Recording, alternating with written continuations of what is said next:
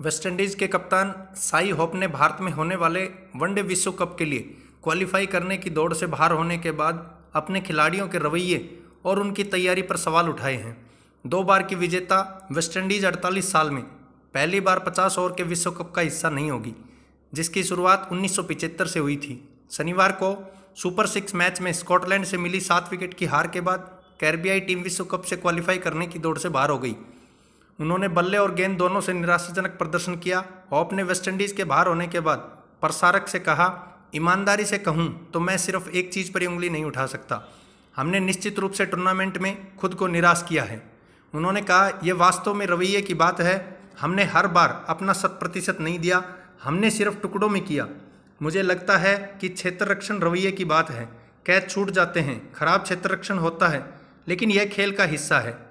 Hop ने कहा, यह नींव से शुरू होता है। हमारी अपनी सरजमी पर तैयारियाँ बेहतर होनी चाहिए थी। हम बिना तैयारी के यहाँ आकर अच्छी टीम की उम्मीद नहीं कर सकते।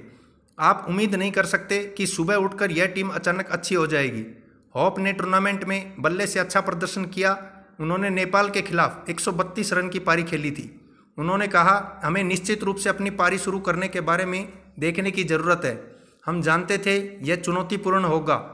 टॉस हमेशा महत्वपूर्ण होता है, लेकिन हम शुरू में इससे निपटने का तरीका ढूँढने की ज़रूरत थी। वेस्टइंडीज़ के दो और मैच बचे हैं, लेकिन इनका नतीजा मायने नहीं रखता। लेकिन कप्तान विकेट कीपर ने कहा कि टीम बचे हुए मैचों में अपना बेहतर प्रदर्शन करने की कोशिश करेगी। उन्होंने कहा, हमारे दो मैच और बचे हैं और हमें जीत की राह पर लौटने का तरीका ढूँढने की ज़रूरत है। टीम में प्रतिभा है, लेकिन हमें निरंतर प्रदर्शन करने की ज़रूरत है।